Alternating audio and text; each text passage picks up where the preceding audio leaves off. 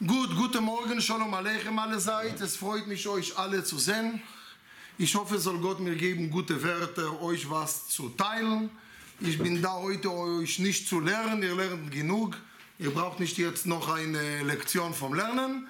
Aber als einer der Arbeit schon 20 Jahre mit älteren Leuten in jüdischer Gemeinde, ihr, ihr geht davon aus, dass man kriegt ein bisschen Erfahrung und ich bin nicht nur in jüdischen Altenheim, ich bin auch später zuständig für den jüdischen Friedhof. Also in den letzten zwei Stationen in die jüdische Gemeinde, wo alle landen, egal was hast du in deinem Leben gemacht, religiös, unreligiös, gläubig, ungläubig, reich, arm, schön, hässlich, geschieden, verheiratet, bei mir spielt das keine Rolle, weil bei mir landen alle zum Schluss.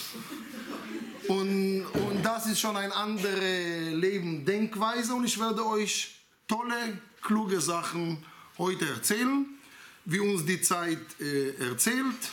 Und danach gebe ich auch gerne natürlich Zeit, Fragen zu stellen und zu fragen. Gut.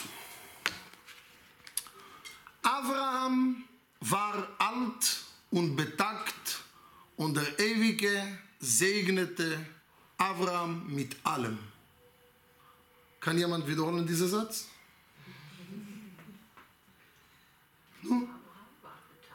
Alt und betagt und Gott segnete Abraham mit allem. Darüber gehen wir heute reden. Alt bedeutet Quantität. Eine Ratte lebt drei Jahre, ein Hund 15, Pferd 30, ein Elefant 60, ein Mensch 70. Okay? Einverstanden? Ja.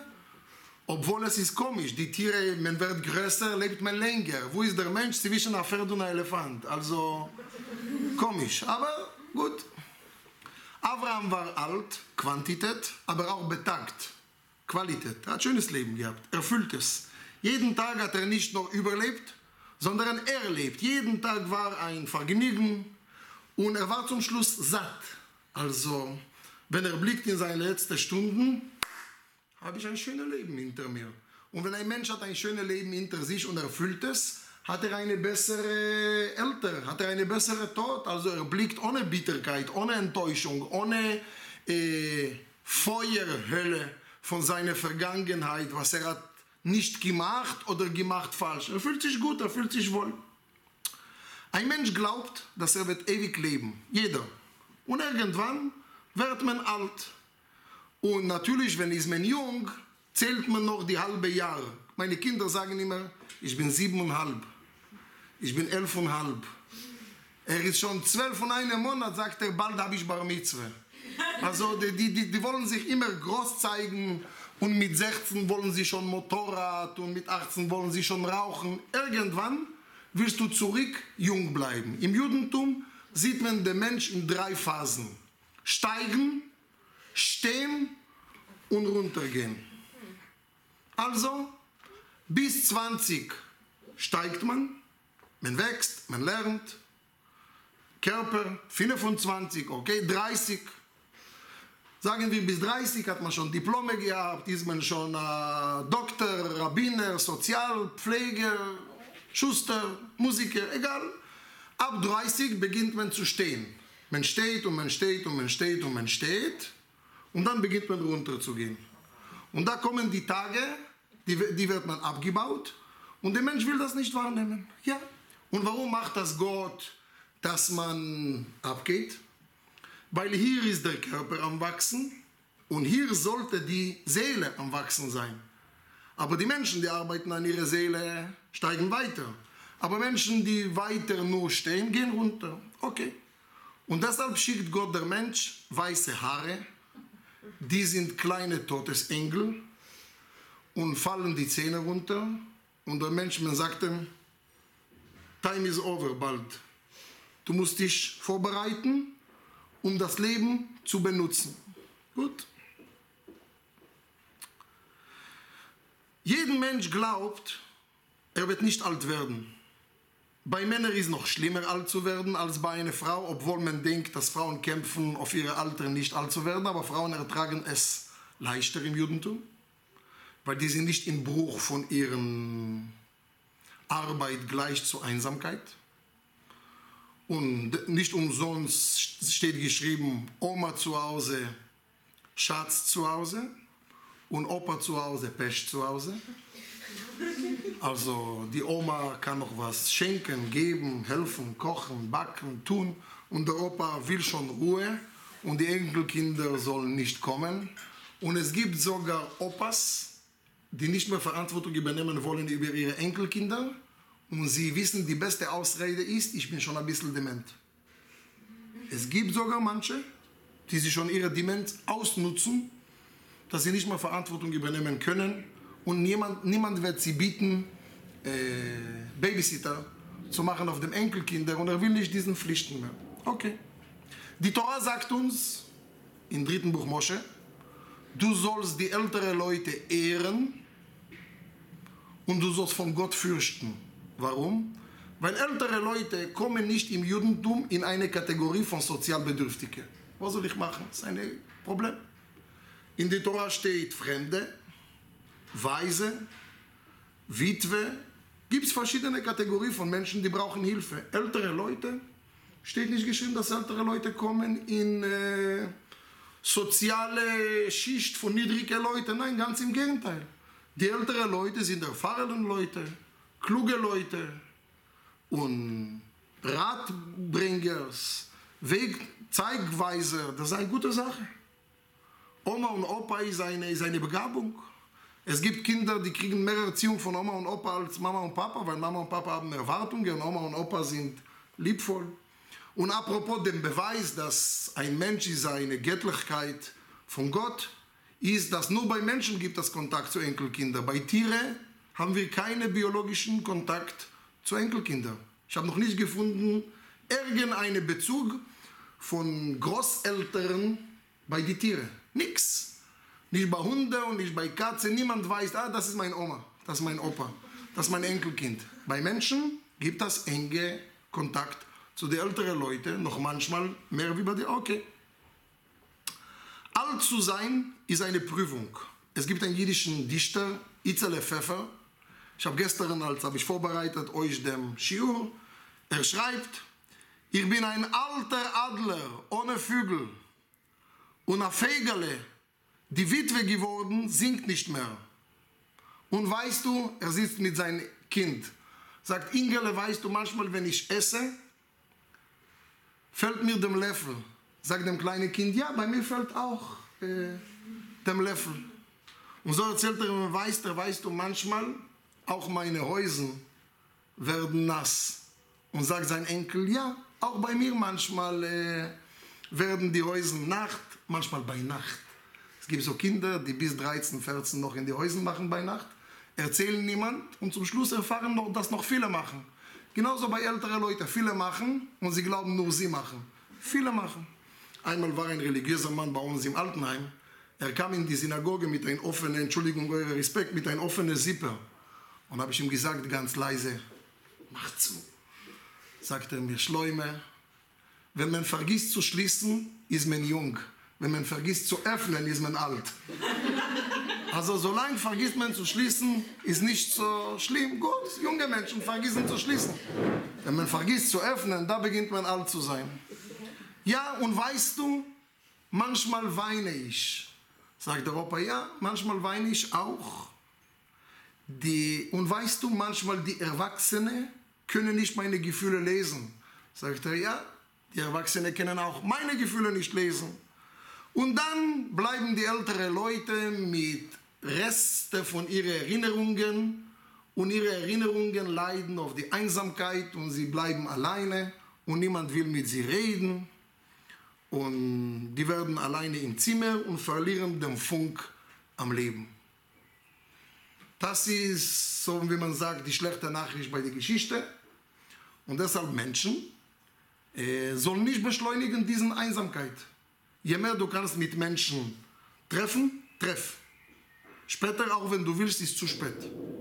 Und ich kann nicht verstehen, junge Menschen, die bevorzugen die Ruhe alleine zu Hause. Ich kenne niemanden im Gefängnis, der verzichtet auf die Pause. Im Gefängnis, wenn man hat eine halbe Stunde Pause, alle gehen spazieren. Und wenn ein Mensch wird alt, irgendwie schließt er sich. Schließt er, schließt er und kommt zu seiner Einsamkeit. Und darüber und mehr möchte ich heute mit euch teilen, was ist alt zu werden im Judentum und was ist seine religiösen Probleme und so weiter und so fort. In den alten Zeiten war kein jüdischen Altenheim. Das ist eine Sache vom 17. Jahrhundert. Es hat begonnen in Krakau, die erste Altersheim, später in Holland, die portugiesische jüdische Gemeinde. Warum? Weil wenn ein Mensch ist geworden alt, es war für die Familie eine Ehre, den älteren Mensch zu pflegen. Im Judentum, die Kinder sind schuldig, gegenüber ihren Eltern drei Jahre zu schenken zurück. Weil bis drei Jahre, egal wie waren deine Eltern schlimm, bis drei Jahre haben sie dir alles gegeben. Stimmt? Essen, Trinken, Pampers, äh, Ärzte, alles. Du kannst später beschweren, dass später deine Eltern waren egoistisch. Dass Mama war nicht lieb zu Papa und Papa ist fremdgegangen gegen Mama. Und Mama, ah, du kannst beschweren über deine Eltern, wie viel du willst, aber drei Jahre bist du schuldig, deine Eltern. Sagt die Torah, nur diese drei Jahre musst du zurückgeben. Drei Jahre netto. Drei Jahre netto bedeutet, wenn wir haben Eltern, wir sind schuldig gegenüber unseren Eltern drei Jahre komplette Stunden, was sie haben uns gegeben, zurückzuschenken. Ganz einfach. Und drei Jahre bedeutet mindestens zweimal, einmal die Woche, die Eltern zu besichtigen, mit denen zu sein. Und es gibt Kinder, die mal einmal im Jahr oder weniger melden bei ihren Eltern. Warum? Weil Kinder von Natur haben keinen Respekt zu ihren Eltern, die sind verbittert. Es gibt einen natürlichen Krampf von, bei den meisten. Es gibt Ausnahmen, Wunder passiert immer, auch heute. Aber ich rede jetzt bei den meisten, bei den Medium-Menschen. Nicht bei dem Large und nicht bei dem Small. Bei den Medium-Menschen, sie haben mit den Eltern einen Konflikt. Wenn die Eltern waren gut, dann müssen sie ganzes Leben schuldig sein. Sie wollen diesen Schuld stoppen. Ein Mensch kann nicht schuldig leben, also er will nicht sein, sein Schuldiger jeden Tag. Und wenn die Eltern waren schlecht, hat er auch eine gute Ausrede Warum er die Eltern? Gott sei Dank, es gibt heute Altenheim. Das ist eine gute Sache. Die Kinder schaffen nicht heute Geduld für ihre Eltern. Weder technisch noch mental.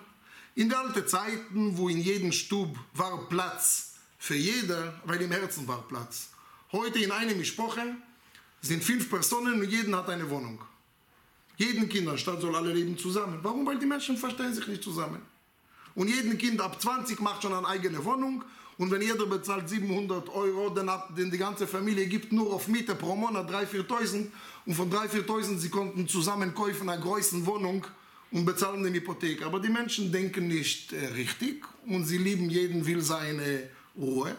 Aber in den alten guten Zeiten, wo Menschen geworden alt, die sind gekommen nach Hause, und Mama und Papa und Schwiegersohn und Schwiegertochter haben gesehen immer die älteren Juden als eine große Ehre.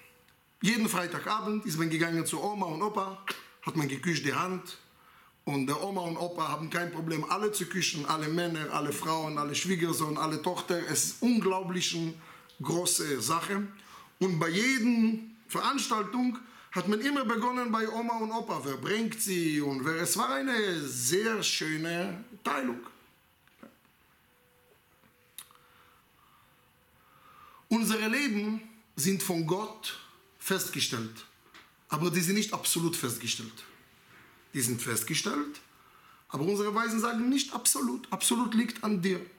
Also du kriegst von Gott Programm Standby. Zum Schluss, was du machst mit deinem Leben, liegt an dir. Ob du in dein Leben gut benimmst, achtest, lebst richtig in dein Leben. Deshalb wir werden heute sehen, was ist besonderes im Judentum mit älteren Leuten umzugehen. Eins zu wissen, dass Männer und Frauen sind unterschiedlich. Eine Frau, die ihr ganzes Leben auf ihre Bescheidenheit äh, geachtet, natürlich es wäre ihr lieber weiter von einer Frau beachtet werden und nicht von einem Mann. Eine normale Frau, die schämt sich, wenn ein fremder Mann kommt und er muss sie waschen passt sie nicht von mental her. Natürlich, wenn es keine Personal und es ein netter Mann, spricht nichts dagegen.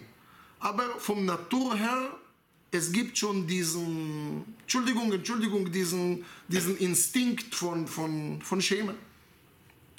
Und natürlich, äh, das ist die erste Sache, was vom Erziehung her macht die Sache ein bisschen schwieriger. Deshalb im Judentum, Frauen dürfen Männer und Frauen pflegen und es ist viel leichter. Und auch im Friedhof, wenn wir waschen die Leichen, Männer dürfen nur Männer waschen nach dem Tod. Frauen dürfen beide. Weil eine Mama hat, hat gewaschen, auch eine Jungele und eine Mädele. Dann hat sie auch kein Problem nach dem Tod. Sie sieht nicht bei dem Körper einen visuellen äh, Gedanke. Sie sieht das als, als soziale Geben, meine, ja. Also deshalb, das Judentum hat immer bevorzugt, ja, auch in Pflege und auch in dem Waschen nach dem Tod, immer von Frauen. Ich gebe euch ein Beispiel. Wenn jemand hat gelesen, die Schriftrolle Ruth, steht geschrieben, dass äh, Nomi und Ruth, alle Männer sind gestorben. Machlon, Kilion und äh, Elimelech. Und wer hat sie beerdigt, wer hat sie gepflegt? Die Frauen. Also die Frauen haben von Gott eine Gabe. Die sind auch mehr geduldig, die Alternative äh, zu verstehen dem Kranken in seine Güte mehr als konventionelle männlichen Tachles Art zu entscheiden. Ta, ta, ta, ich sehe auch, wie ich spreche mit meinen Kindern am Telefon und wie meine Frau. Wenn ich will wirklich wissen, wie geht es meinen Kindern, ich höre von meiner Frau, wie es geht ihnen. Weil ich sprich mit denen zehn Minuten, auch wenn ich bin ein großzügiger Papa und ich kann vielleicht interessante Sachen zu erzählen, aber Männer haben ein bisschen Anschränkung in ihren Reden. Sie können besser reden als sprechen. Sprechen ist also eine weiche Art, wo Gott hat begnadet die, die, die Damen, die Frauen und nicht umsonst nennt man das Muttersprache. Hätten die Kinder gelernt zu reden von der Papa, sie waren alle Invaliden, also sie konnten nicht mehr reden. Also der Papa, ich sehe, wenn ich sitze mit meinen Kindern beim Abendessen, ess, trink, willst du noch, willst du wenig, ess bis Ende. Und meine Frau pappelt mit denen, was war in die Schule, diese Soße, mit dieser Soße.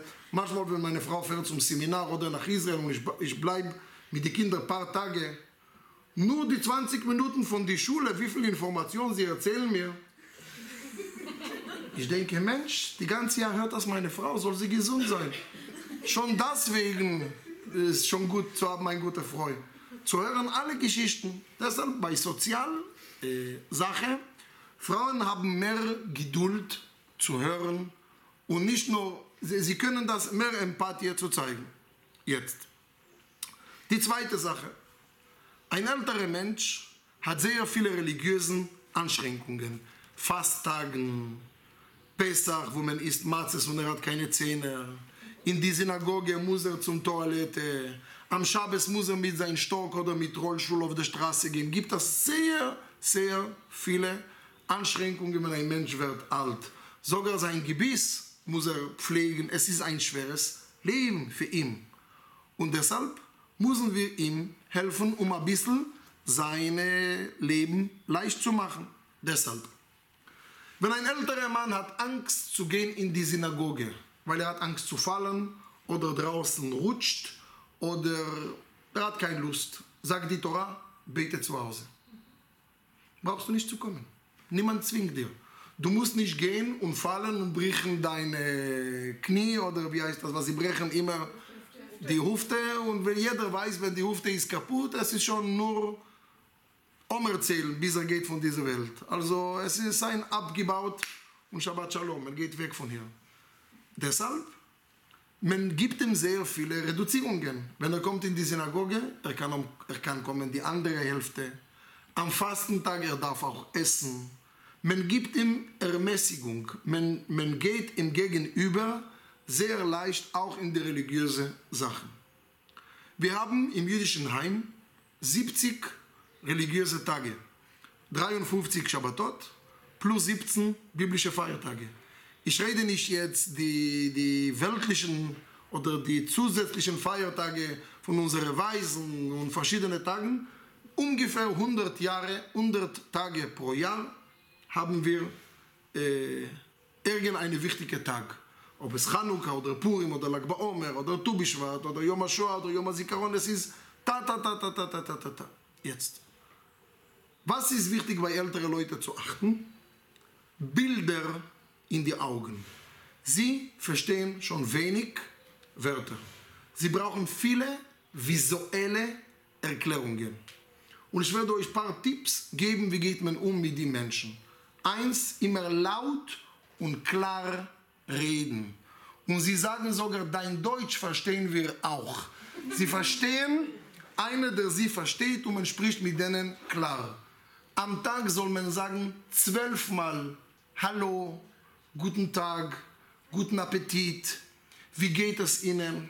Und ich habe entdeckt, eine einfache Frage zu stellen, wie es geht. Geht es Ihnen gut oder sehr gut? Wenn du fragst einen älteren Mensch, wie, wie es ihm geht, am meisten geht ihm schlecht.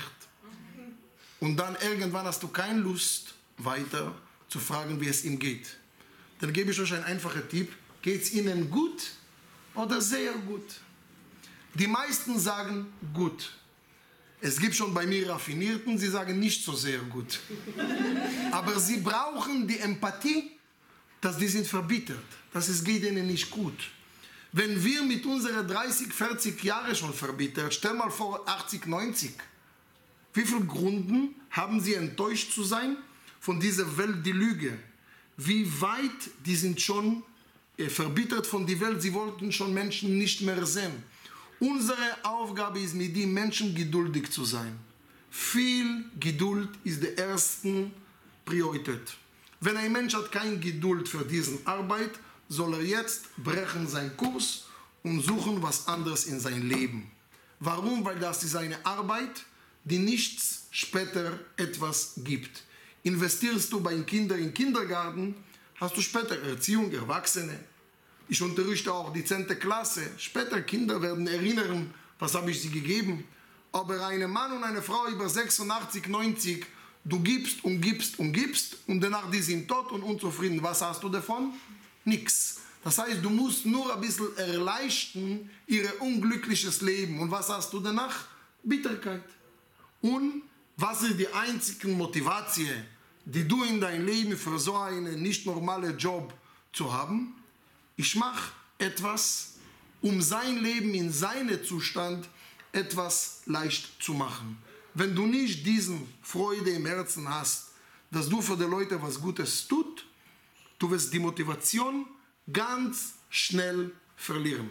Letzten Shavuot haben wir hier gehabt, äh, volle Saal, 140 Bewohner, das heißt den ganzen Heim. Sie haben bekommen Käsekuchen, und Eis Vanille und ich habe sie erzählt über Shavuot. Es hat gedauert alles 20 Minuten, 25 Minuten. Ich habe versucht, äh, klare und feine Wörter denen zu erzählen. Zu sehen die Glück von den Menschen in diese wenigsten Momenten schenken dir für eine lange Zeit Kraft weiterzumachen. Deshalb, für die Menschen braucht man Geduld, laut sprechen und nicht zum Herzen nehmen, wenn die mümmeln oder schlecht gelaunt oder schimpfen. Es hat mit dir nichts zu tun. Es hat gar nichts zu tun mit dir. Lass nicht der ältere Mann dein Energievampir sein. Er wird das ganz schnell, wenn du bist ein sensibler Mensch, er wird das sehen auf deine Augen und er wird dir ganz schnell glättern auf diesen Schwäche und er wird dir kaputt machen, leer machen mit seinen Zorres, mit seinen Schwierigkeiten, mit seinen Problemen, muss man Distanz haben und wissen, ich höre zu. Wenn einer von den Bewohnern will mit mir ein Gespräch machen, ich sage sehr gerne, wie viel Zeit brauchen Sie? Was sagen die Leute, wie viel Zeit brauchen Sie? Was glaubt ihr? Was sagt ein älterer Mensch, wenn du sagst, 10 Minuten? 99% wollen 10 Minuten. Unglaublich, 10 Minuten glauben sie. Gut, ich komme zu denen im Zimmer. Wie lange dauert die Geschichte? Wie viel? Zwei Stunden. Nein, drei Minuten. Drei Minuten hat er was zu erzählen. Was hat er zu erzählen? Was hat er schon was zu erzählen Neues? Drei Minuten. Und dann nach zehn Minuten ist er noch froh. Hast du ihm nicht gesagt zehn Minuten? Auch wenn du sitzt eine Stunde, es ist zu, viel zu wenig. Man braucht denen ein Gefühl geben, was habe ich für dich gemacht? Sonst verstehen sie das nicht, sie kapieren es das nicht und man muss das ganze Zeit wiederholen. ja, ich bringe Sie jetzt was zu trinken, ein Glas Wasser. Möchten Sie Wasser mit Sprudel oder ohne Sprudel? Soll ich Ihnen einen Kaffee schenken oder nicht? Mehr sagen und seine Wahrnehmung als machen. Du kannst rennen und rennen und rennen und machen sein Bett und ihm waschen und gar nichts sagen und er wird später beschweren, diese Pflegerin oder diese Frau macht gar nichts den ganzen Tag. Und du hast gerannt und gerannt und gerannt und gemacht und gemacht. Was hast du ihm nicht gegeben? Sein Empathie. Du hast ihm nicht gesehen. Du hast gesehen sein Bett, du hast gesehen sein Körper, du hast gesehen seine Kleider, du hast gesehen seinen Schrank, du hast gesehen die Kollegen, du hast alle gesehen. Wem hast du verpasst? Der Mensch. Leider leben wir in einer Gesellschaft heute, wo der Mensch wird wenig gesehen. Wir sind in einer Gesellschaft, wo es wird alles protokolliert. Es muss protokollieren die, die, die, die Stunden, die Zeiten, äh, die Betten. Wer, wem sieht man zum Schluss? Ah, ist auch ein Mensch dabei. Ist auch ein Mensch dabei. Stimmt, ist eine Person, ist eine Bewohner. Stimmt, ah, jetzt weiß ich. Wir sind nicht in Garage. In Garage kommt ein Auto und es ist egal, wer ist der Chauffeur. Bei der Mensch ist unwichtig, was ist der Auto.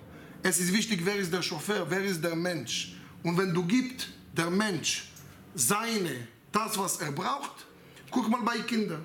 Manche Eltern machen alles für ihre Kinder.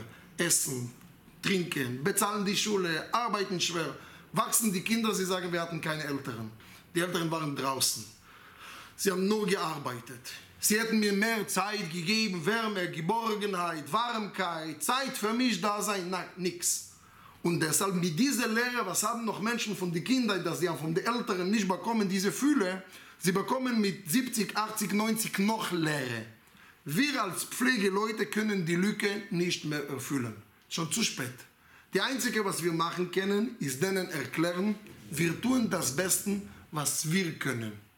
Nicht das Beste, was sie erwarten. Sie erwarten sehr viel. Ich bin nicht deine Frau, ich bin nicht dein Mann, ich bin nicht deine Tochter, ich bin auch nicht deine Cousine, ich bin eine Pflegekräfte. Ich helfe dir. Wie kann ich sie behilflich sein? Das wäre immer die beste Frage. Kann ich was für sie tun? Kann ich sie behilflich sein? Was brauchen sie? Und es gibt immer in jeder Station paar Bewohner, die ein bisschen Nerven zu viel. Die wollen, die glauben, die ganze Haus gehört sie. Hab keine Angst. Teil zwischen alle deine Zeit richtig. Und lass niemand dir zu nah zu treten, auch wenn er sagt, ich werde Beschwerden beim Chef, ich werde bei dem Abteilungsleiter. Wenn du tust das, was du tust, richtig, wird nichts passieren. Wenn du beginnst, einen Bewohner mehr zu bevorzugen, weil er ist lieb zu dir und er gibt dir sogar Perline zum Feiertag, da beginnst du zu fallen. Da hast du schon Ängste. Aber wenn du jeden Bewohner siehst, ich habe zwölf, ich muss alle zwölf richtige Zeit geben, Schluss. Die sind vor deine Prioritäten. Die sind wichtiger als, deine, als die Besucher. Der, der Bewohner ist wichtiger als dein Chef. Der Bewohner ist wichtiger als dein Abteilungsleiter, als die Besucher. Er ist derjenige, wo du von ihm isst. Er ist der Mittelpunkt. Manchmal kommen zu uns zum Schabbat noch Gäste und sie haben ein Missverständnis mit den Bewohnern oder so. Ich sage immer die Gäste, die Bewohner sind meine Patienten. Die sind bei mir die wichtigste Sache. Ihr seid herzlich willkommen. Ihr müsst an denen anpassen, nicht sie an euch. Das ist ihr Heim. Wir müssen unsere Bewohner schützen, lieben, Schenkheit geben, tolle Zeiten geben, dass sie diesen Zeit, wo die sind hier, sollen sie wohl fühlen. In die ganze Geschichte, wo ich bin hier, es war nur eine Frau, die die ganze Zeit war unzufrieden. Und wenn einer ist nur unzufrieden, etwas stimmt nicht mit ihm. Ein Mensch kann sein 80% nicht zufrieden, aber 20 ist er zufrieden. Aber wenn jemand ist 100% unzufrieden, etwas stimmt nicht mit ihm. Ein Tag, wo sie ist gekommen, habe ich gesagt, was macht man hier gut? Gar nicht. Gar nichts sagt, wissen Sie was? Suchen Sie ein anderes Haus. Wer zwingt dir, bei uns zu sein? Bist gekommen von Stuttgart, geh zu Stuttgart zurück. Warum sitzen Sie hier so viele Jahre, so verbittert, so wütend, so aggressiv, alle sind schuldig. Geh, ich gehe.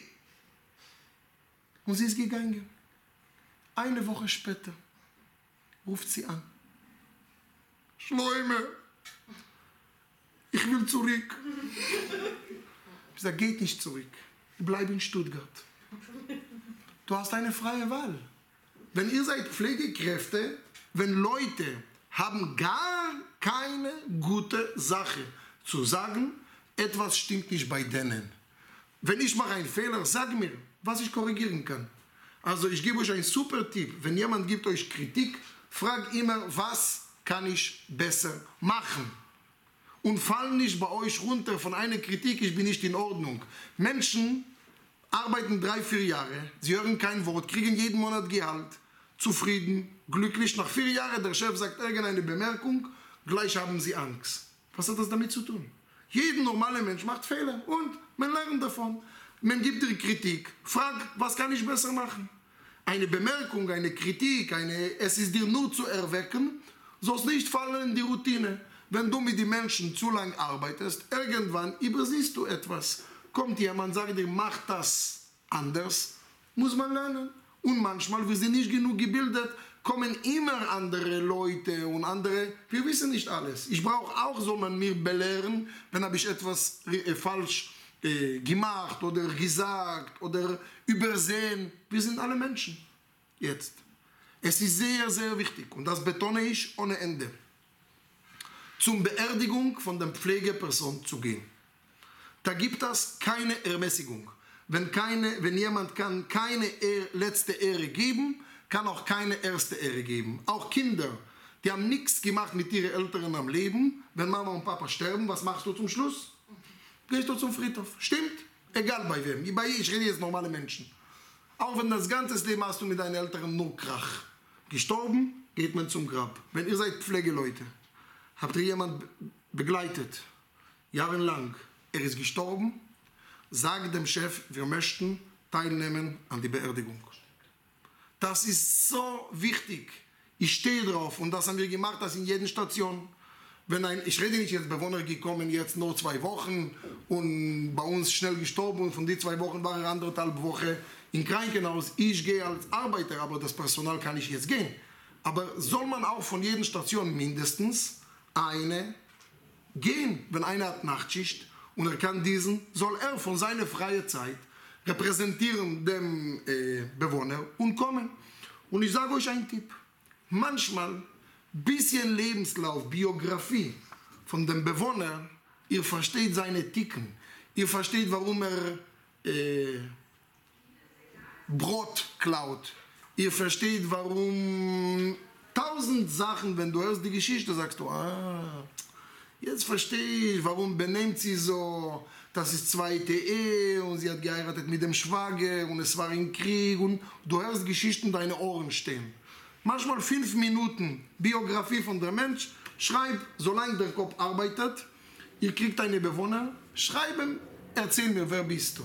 Dass ich weiß, mit wem habe ich zu tun. Manchmal die Lage wird so verschlecht, dass du vergisst überhaupt, mit wem hat das zu tun. Du vergisst, dass der Mensch hat eine Geschichte hinter sich. Dass der Mensch hat ein Leben, manchmal schreckliche Leben gehabt. Noch zwei letzte Sachen. Ältere Leute belohnen nicht. Die sind meisten undankbar. Die meisten. Sogar ein junger Mensch mit Krebs oder Freundin, Freund. Junge Menschen sind irgendwie dankbar. Jemand kommt dir besuchen, tut für dich was Gutes Du hast Dankbarkeit, Schuld. Ältere Leute haben keine dankbare Schuld. Die sind verbittert. Die sind so egoistisch wie Kinder. Nur zu bekommen. Nur zu bekommen. Warum? Ein Kind ist egoistisch, weil hat man ihm so erzogen, dass er bekommt alles. Ein älterer Mensch ist egoistisch, weil er glaubt, ich habe schon meinen Teil genug gegeben. Jetzt muss ich von der Gesellschaft alles zurückgeben. Weißt du, wer ich bin? Jahrelang war ich der, der Chefleiter von EBGC. Chef war ich, bin ein großer Mensch. Aber wenn er kommt in Altenheim, er ist genauso wie alle. Und irgendwann sieht er, die Leute vergessen ihn und er verlangt seine Anerkennung. Und deshalb, es ist sehr wichtig zu wissen, die Menschen danken nicht. Die sind undankbar. Die können nicht mal richtig Danke sagen. Und das wird euch so brechen am Anfang. Ihr habt gemacht und gemacht und gemacht und kommt nicht mal rüber. Und deshalb, ich will euch nur davon warnen, dass das ist eine undankbare Gesellschaft.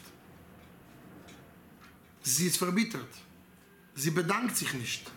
Sie behält nicht eine von 100 ältere Leute, eine von 100 vielleicht, ist eine dankbare Person. Eine von 100. Eine, der wirklich äh, zufrieden und denkt und, und schätzt das, was du hast. Und warum ist er unzufrieden? Weil wenn er ist schon in Altenheim, er ist schon vernachlässigt von seiner Mischproche, von seiner Familie, von Freunden, die sehen ihn nicht. Er ist so von der Gesellschaft so, geh in dein eigenes Zoo. Und Altersheim ist die letzte Station in die Gemeinde, wo niemand sehen will. Ich versuche meine Studenten, 10. Klasse, 11. Klasse, sagen, komm, Freitagabend, komm ein bisschen zu uns in die Synagoge, betet mit uns, gib die älteren Leute gute Stimmung. Die kommen nicht. Die interessieren nicht. Die wollen nicht riechen dem Tod. Sie wollen nicht riechen die Energie, die weg ist. Die wollen nicht diesen Gefühle haben. Sie drehen mir immer den Kopf, aber sie wollen nicht hier kommen. Auch wenn ich sie zwinge am Chanukka, dass sie müssen kommen, sie kommen, aber die sind nicht dabei. Die sind nicht offen. Jetzt andersrum gibt etwas sehr interessant von den älteren Leuten. Ich habe etwas bemerkt. Die älteren Leute suchen Energie und Vitalität. Und egal wie dement ist der Person. Es wird nie ein Schlimasel, ein Unglücklicher, hinsetzen neben ein Unglücklicher. Es ist unglaublich. Er wird immer sitzen dort, wo die Augen noch ein bisschen leuchten und es gibt Feuchtigkeit. Sie werden sitzen neben Junge, neben Kinder. Sie werden nie sitzen, auch wenn die sind total dement, neben anderen Dementen. Das heißt, die haben noch eine Sansor hier, so wie wir Menschen haben so Sympathie, Chemie. Es gibt Menschen, wo wir sind gleich, wie man sagt, hingezogen. Und es gibt Menschen, wegen unserer göttlichen Auge, machen wir schon sofort Distanz, wie auch immer dem Grund von unserer Erziehung und von unserem Leben. Ältere Leute werden immer suchen Kinder, Jugendlichen, Leben, Vitalität, dort wo es etwas funkt und leuchtet. Warum? Weil wenn ein junger Mensch ist nicht mehr gefunkt, ist er schon alt. Und ein älterer Mensch, der hat noch Funken und Leben, das ist ein Mensch, der noch lebt. Jetzt werden wir schnell diesen Blatt, was habe ich euch gegeben, zusammenlesen. Und ihr werdet sehen, dass alles, was wir haben gelesen, ist ungefähr ausgeleitet von diesen Sprüchen. Beginnen Sie, dem ersten Zitat. Bei den Alten findest du Weisheit. Ältere Leute sind erfahren. Und ich gebe euch einen Tipp. Habt ihr Probleme in die Familie? Mach eine Gruppe von älteren Leuten und erzähl dem Problem als Arbeitsgruppe. Ich mache das oft. Unglaublich. Die geben dir Antworten, ihr werdet flippen. Ihr werdet sagen, ja, wir haben hier ein Dilemma. Eine Frau hat das gemacht zu ihrem Mann. Was macht man in so einem Fall? Die geben dir Antworten. Ich löse manchmal Probleme, die ich habe in die Familie, in die Ehe, mit den Kindern, mit Schwiegersohn, mit Schwiegertochter in einer Gruppe von älteren Leuten. Die sind erfahren und die geben dir einen Ratschlag. Die hat nichts zu tun jetzt mit deinem Problem. Sie geben dir eine andere Blickweise. Sie haben gelesen 300 Bücher. Sie haben gesehen schon 30 Städten. Sie haben schon gesehen 500 Filme. Sie haben schon gelesen 300 Zeitungen. Sie haben mehr gesehen und ge gelesen in dieser Welt als wir. Das heißt, ist bei denen irgendeine breiten, äh, nimm nicht zum Herzen, ist nicht so schlimm, mach nicht, lohnt sich nicht zu streiten mit Schwiegereltern. Sie geben dir immer Tipps. Weiter, zwei. Eine prächtige Krone ist das Silberhaar.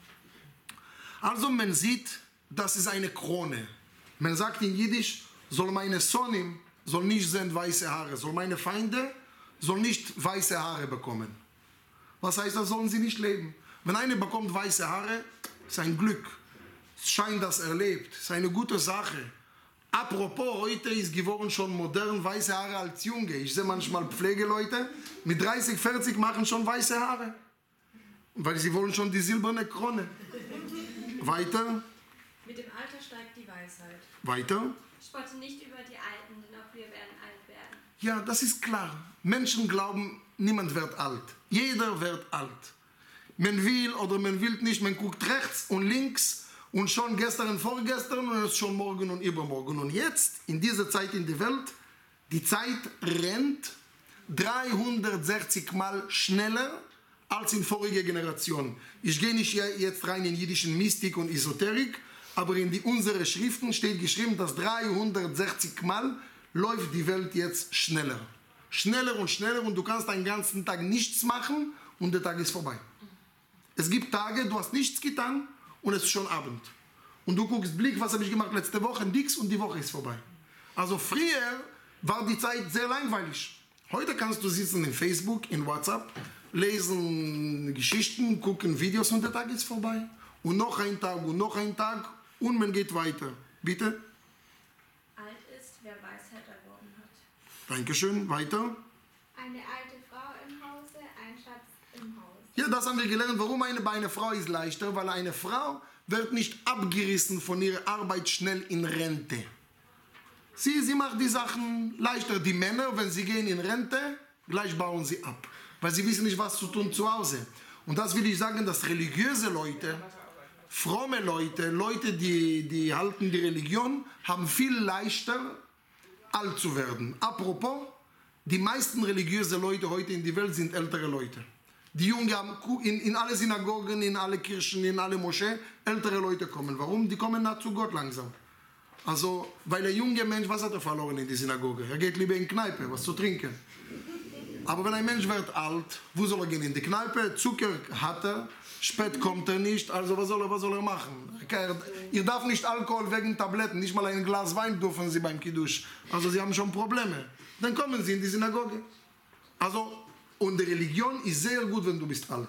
Das erfüllt dir dem ganzen Leben. Ich will loben, mein Schwiegervater, der ist 77 Jahre alt. Der ist wirklich von morgen bis abend beschäftigt.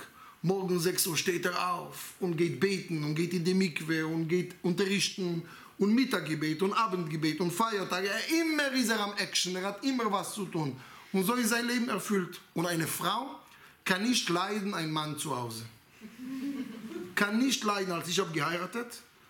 Ich habe gesprochen mit meinem Rabbi. Er hat mir gesagt, willst du eine glückliche Ehe? Soll deine Frau dir nie sehen morgen im Bett, wenn sie geht raus von zu Hause. Ich bin schon mehr als 25 Jahre verheiratet, habe meine Frau noch nie gesehen morgen im Bett. Ich stehe immer vor sie und ich gehe raus. Ich gehe in die Synagoge, ich gehe beten, ich gehe auf dem Fahrrad. Eine Frau kann nicht leiden, ein Mann zu Hause. Geh. Luft. Geh. Geh. Deshalb, und, und sie macht, und wenn er geht und er kommt und er hat wohin zu gehen, das ist ein gutes Leben. Weiter. Wer Rat bei alten Menschen holt, wird nicht straucheln. Ältere Menschen geben dir eine wahre Rat. Ein, ein Rat ohne Blut. Ein Rat meistens ohne Kampf. Es ist unglaublich, als der äh, Avshalom, der Sohn von äh, König David und später Rechavam, der Sohn von Shlomo, wollte die Juden beherrschen, hat er Rat geholt wegen Steuer. Bei die Jugendlichen, die Jugendlichen haben gesagt, ja, nimm Steuer und mach hart. Und die älteren Leute haben gesagt, langsam. Nimm zuerst die Glaube von dem Volk. 10 Jahre, 15 Jahre, danach mach Steuer. Er hat gehört, die Jugendlichen, und in zwei Jahren war er gefeuert. Ältere Leute sind mehr und mehr für Frieden. Junge Leute sind mehr und mehr für Kampf, für Krieg, für Gewalt. Äh, Studenten brechen Fenster. Ältere Leute sagen, hör, ich war, ich war jung. Diese Wege habe ich probiert. Das, was du mit Gutes schaffst, wirst du viel besser schaffen als wie mit Schlechtes. Und was macht ihr? Ihr geht im Gericht und scheidet euch und Kampf und sagen, und später musst ihr sowieso über die Kinder kümmern. Dann kümmere jetzt vor dem Scheidung. Also denk, dass ihr seid schon, also die geben dir schon Ratschläge von ihrem Leben, dass du musst nicht selbst alle Experimenten selbst machen. Bitte schön. Die Weisheit der Gelernten nimmt im Alter zu. Ältere Leute, solange der Körper ist laut, und die Seele ist leise, schwer zu lernen, schwer zu konzentrieren. Wenn ein Mensch wird älter, die Körper wird leise und die Seele wird lauter. Und deshalb kann man besser lernen, wenn ein Mensch wird vernünftiger. Wenn er ist jung, hat er Temperament, Hormonenstau. Er kann nicht so äh, äh, lernen. Aber wenn er wird vernünftig und der Bluttemperatur wird ein bisschen kälter, kann er besser lernen. Weiter. Wohl unseren jungen Jahren, wenn wir uns ihre im Alter nicht zu schämen brauchen. Es gibt Menschen, leben ihr ganzes Leben schön und wenn sie werden alt, beginnen sie sich unsinnige Sachen zu tun. Und sie beschämen ihre ganze Karriere, als sie alt werden. Sie haben Probleme mit der Familie und mit den Kindern und alle sagen unsere Weisen, trainiere dein Leben, gut zu leben bis Ende. Weiter. Wo immer du alte Menschen in der Heiligen Schrift erwähnt findest, behandelt Gott sie ehrenvoll. Also immer wenn es steht in die Bibel, Abraham Zaken, Vamelech David Zaken, also Gott liebt die älteren Leute. Gott liebt die älteren Leute. Und, und Gott wird erwähnt auch in unseren Schriften, wenn man ihn beschreibt, als weiser älterer Mann. So wird er erwähnt. Also unglaublich. Und, und guck mal, Kinder, versuch, sag Kinder im Kindergarten, sollen sie Gott malen. Habt ihr schon probiert? Sag Kind, male Gott. Machen, die meisten werden machen ein älterer Herr. Die meisten. Die, manche werden machen vielleicht ein Engel. Ja, äh, äh, ja, jeder kann, aber, aber interessant, wo die Kinder haben so klare Bilder. Ja, weiter. Rabbi Jochanan pflegte sich auch vor nichtjüdischen Kreisen zu erheben. Ja. Also steht geschrieben, dass wenn man sieht, ein älterer Mensch, soll man sich heben und ihm den Platz geben. Die Frage ist, was ist alt? Äh, es gibt eine Diskussion. In Talmud steht geschrieben 70, in die kabbalistischen Büchern steht geschrieben 60. Aber in jedem Fall, man sieht, das ist eine technische Definition. Interessant, im Tempel äh, hat man technischen Experiment gemacht, ob der Priester kann auf ein Bein sein Schnürsenkel äh, binden. Wenn er das schafft, auf ein Band zu machen, er konnte weiter arbeiten.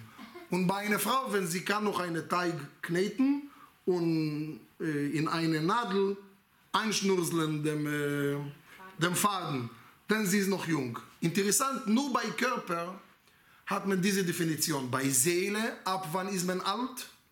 Wenn man wird wie ein Kind.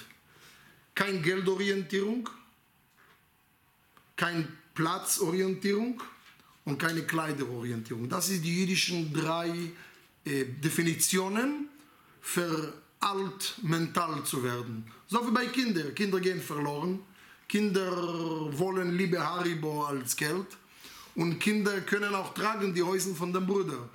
Also man sieht ältere Leute, sie kommen manchmal mit halbe Pyjama und mit halbe... da- Das ist schon... Äh, sie, sie machen nicht die, die Knöpfe richtig und eine Dame kann plötzlich offen sein, zwei Knöpfe. Also das ist die drei äh, Definitionen in unserer Literatur, wenn ein Mensch beginnt alt zu sein. Deshalb, wenn man sieht, ein älterer Mensch, ein oder ein ein Jude oder nicht Jude, soll man ihm Ehre geben. Warum soll man ihm Ehre geben? Warum? Warum soll man Ehre geben ein älterer Mensch? Was denkt ihr? Nu, sag. Jeder Mensch hat Würde. Ja, aber ich habe auch Würde. Warum muss ich einem älteren Mensch die Würde geben? Was hat er mehr gemacht als ich? Gelebt und geformt. Gelebt und geformt. Was noch? Er konnte mehr geben in der Zeit. Nein, hat er nichts gegeben, ein Egoist. Sagen unsere Weisen, in diese lebt zu schwimmen, überhaupt ist ein Kunst. Der hat mehr geschwommen in diesen Strom. Also Menschen, die schaffen nicht die- dieses Leben, werden entweder verrückt oder machen Selbstmord. Es gibt viele Leute, die schaffen nicht dieses Leben. Das Leben ist für denen too much. Wenn du siehst, ein älterer Mensch, hat er geschwommen, hat er sein Leben weiter durchgekämpft. Für diesen Schwimmen aufstehen. Für diesen Herausforderung, dass er sein Leben weitergebracht, großer Respekt. Er hat mehr geschafft als ich. Er ist schon 80. Niemand gibt mir Garantie, dass ich komme zum 80. Ich will sehen, ob ich ihm, ihm sein 80 besser aussehe als ihm. Jetzt bin ich klug und scharf. Was passiert mit 80? Ich muss Respekt geben, für seine Schwimmen in diesen verrückten Welt. Das ist die Definition von dem Talmud. Weiter. Hütet euch, einen alten Mann zu beleidigen, wenn er durch Unglück seine Gelehrtheit eingebüßt hat. Was heißt das?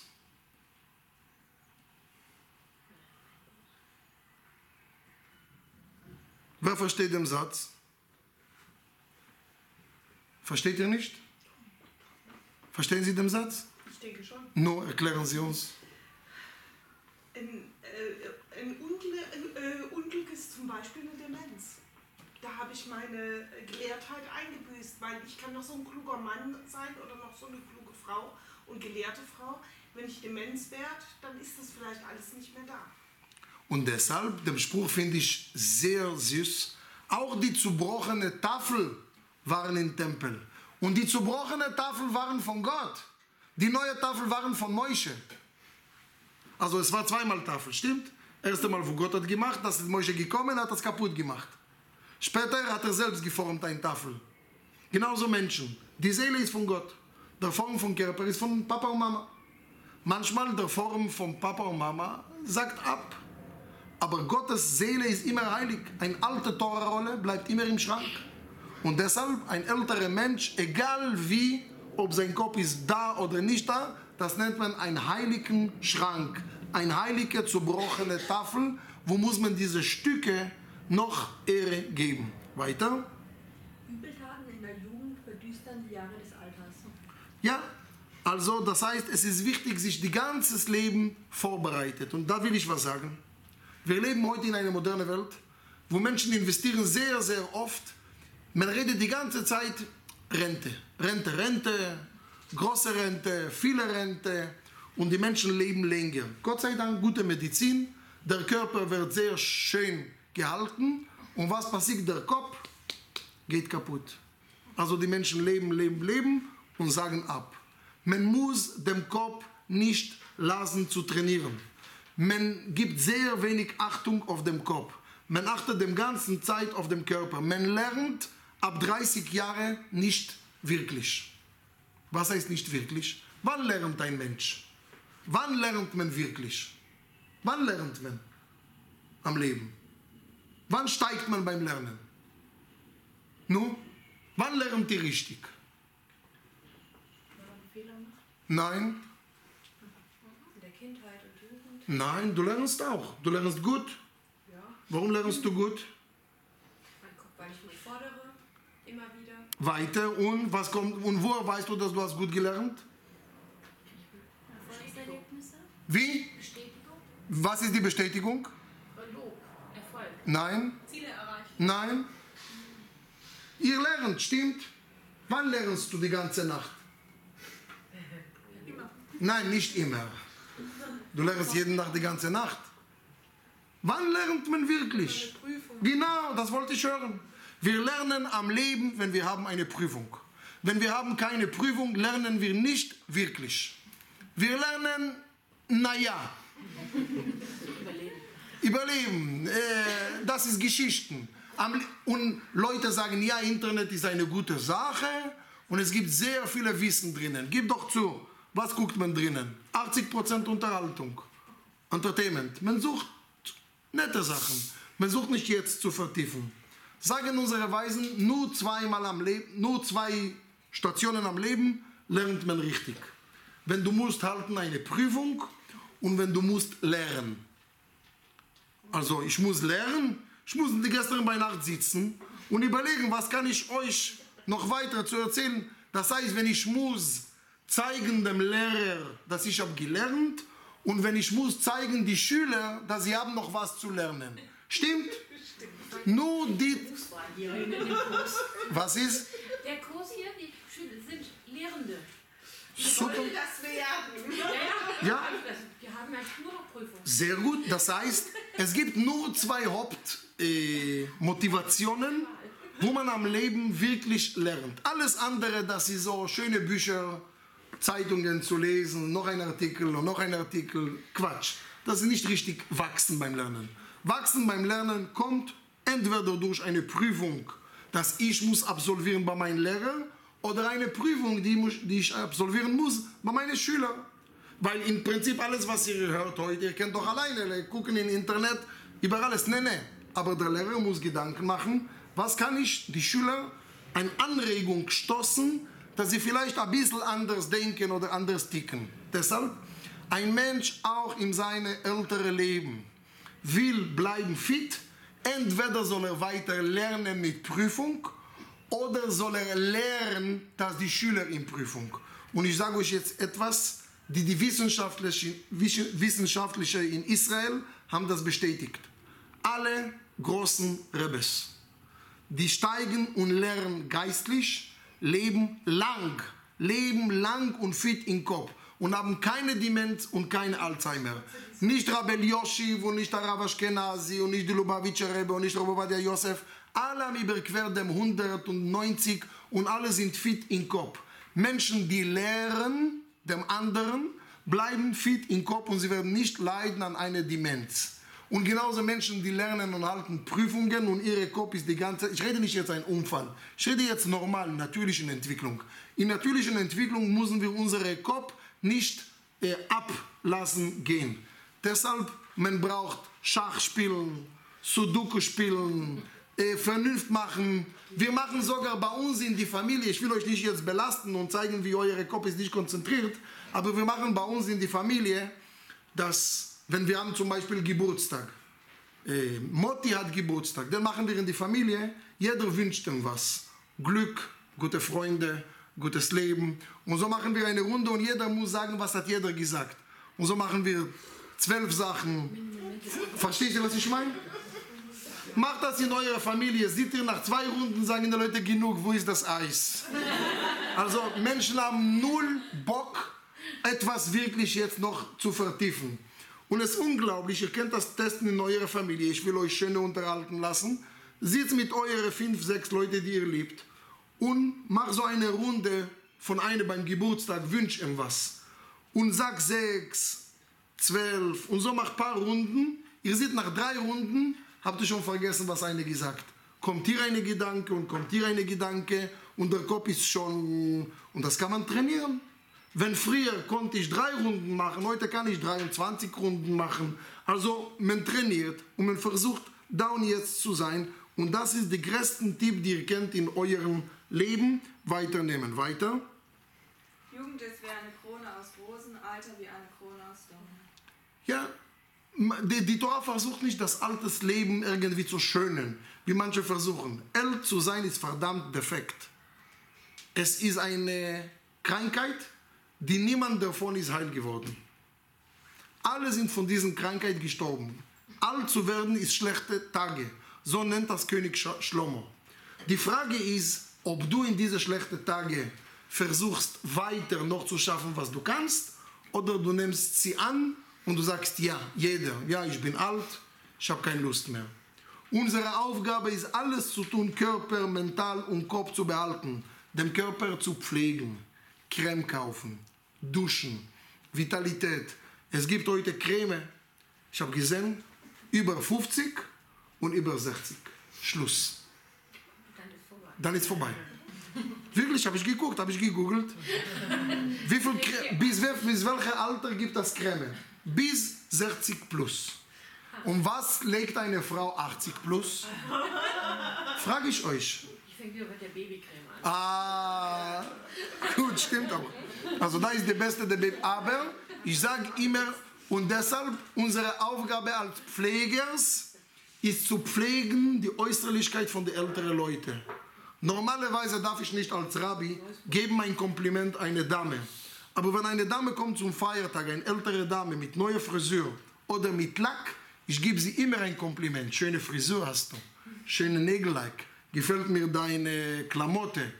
Weil in dem Moment, wo ihr seid als Pflege motiviert, ihren Waschen, ihre Pflege, ihre Duft, dass sie nicht alt riechen, weil ältere Leute beginnen auch andere Geruch zu haben. Schon von Kindheit unseren Geruch äh, sagt ab. Ein Kind, ein Baby riecht Paradies. Stimmt?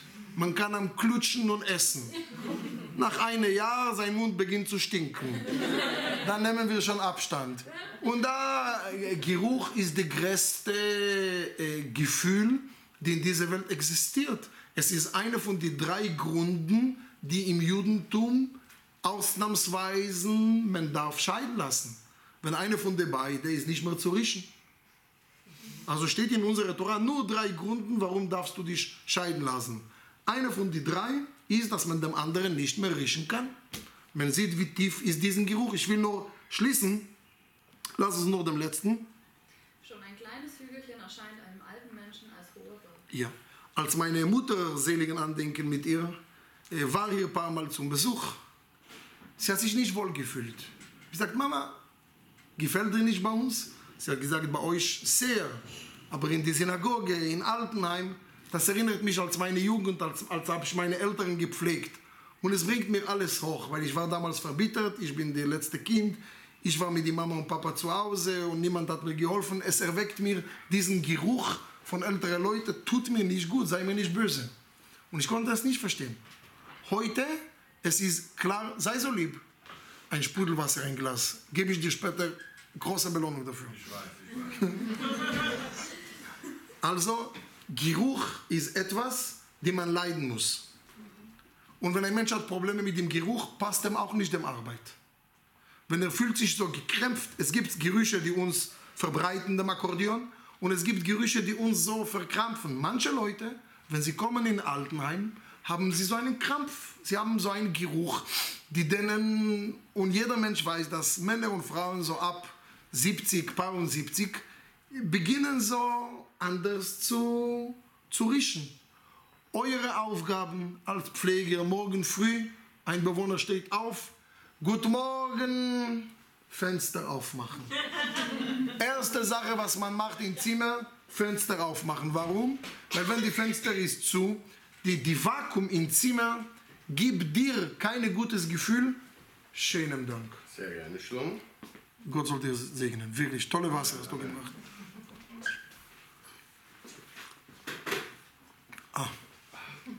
So gut. Die, die Suppe ist bereit, ne? Ja, wir sind in fünf Minuten fertig. Okay. Wie, wie spät ist das? Entschuldigung. Viel nach. Ja, haben wir noch fünf Minuten. Ja. Gut, dann bedanke ich mich. Ja, vielleicht habt ihr noch was zu fragen, dann will ich nicht eure Zeit nehmen. Ihr werdet sagen später, ich habe euch nicht Zeit gelassen, was zu fragen oder zu bemerken. Also Geruch spielt eine große Rolle. Und deshalb achte in eurer Umgebung und eurer Station über Geruch. Es gibt Stationen hier, die gut riechen und es gibt Stationen hier, die vernachlässigt sind. Versucht das in eurer Station, wo ihr pflegt, soll gut riechen. In eurer Küche, in eurer Umgebung.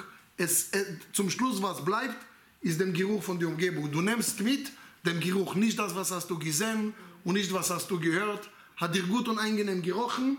Wenn du kommst, Entschuldigung, euer Respekt, du kommst zu einem Restaurant und die Toiletten stinkt, hast du keinen Appetit mehr. Und wenn du kommst in dem Toilette von dem Restaurant und es angenehm riecht, kannst du später gut essen. Es ist dir bekömmlich, es ist dir bequem. Genauso im, im Pflegebereich. Versuch immer dem Zimmer gutes Shampoo. Das ist unglaublich, vor ein paar Monaten habe ich äh, auch aufgenommen so eine Shiur.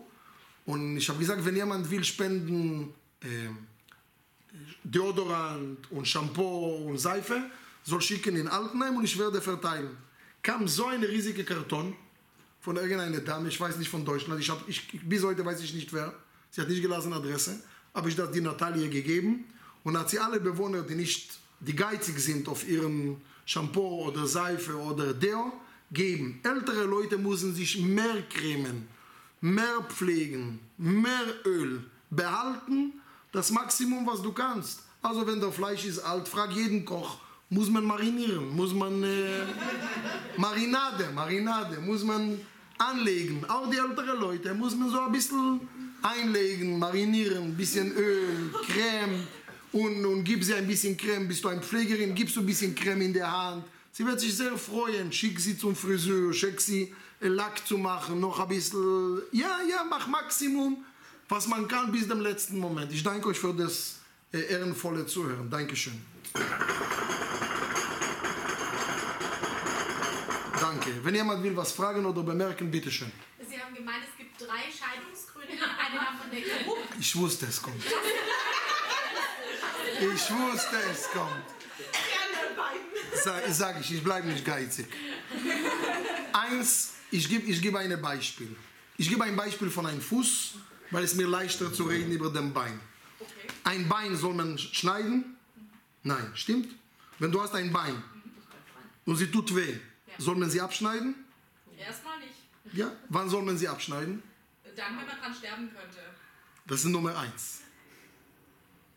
Also wenn es ist Gefahr vom Sterben, einer bedroht dem anderen, schlägt, prügelt, Messer, keine Ahnung, offizielle Objektiv Sterben bedroht, ist der erste Weg, warum soll man den Fuß schneiden. Zweiten, wa- wann soll man noch den Bein schneiden? Wenn die Fuß geht alleine spazieren. Also wenn der Bein